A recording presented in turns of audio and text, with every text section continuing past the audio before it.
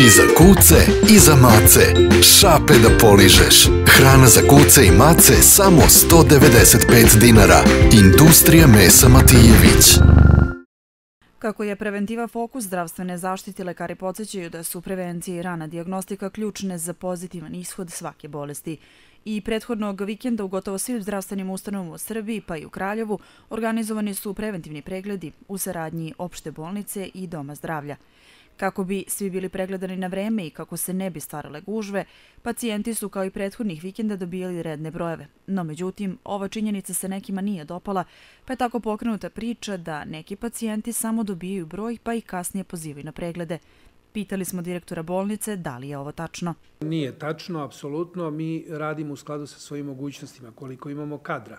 Mi ne možemo, ako je veliki odziv, ovaj put smo završili kompletno sve, a, ostale su, ja mislim, dve sugrađanke koji nisu došle. A, broj mora da se radi organizacije zakazivanja u primarnoj službi, Dom zdravlja daje te određene brojeve da bi se smanjile gužve.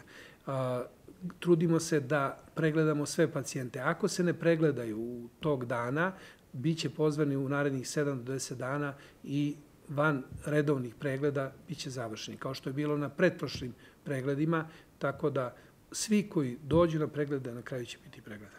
Na pitanje novinara kome da se obrate oni pacijenti koji tvrde da nisu pozvani na pregledni posle dva meseca, doktor Mrvić kaže. Mogu da se obrate glavnoj sestri bolnice, mogu da se obrate radiološkoj službi ako je pregledi u radiološkoj službi. Svi spiskovi postoje, brojevi telefona, nikakav problem nije.